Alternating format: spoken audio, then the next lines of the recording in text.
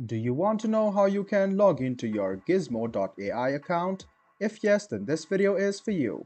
Hello and welcome to AI Basics. It's your host back again with yet another interesting tutorial video. In this video, I'm going to teach you how you can log into your gizmo.ai account. Go ahead and open Chrome or Edge browser on your PC, go to the search bar and search for gizmo.ai login. Click on the first link which appears on your screen.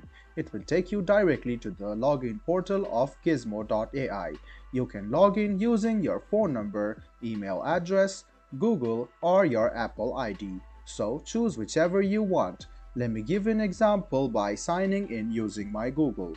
Go ahead and click sign in with Google and then choose your Gmail address or your Google account and then click continue. This way you can sign into your gizmo.ai account using your Google account. You can also use Apple email or your phone number too. So go ahead and type in your age and then go ahead and click let's do it.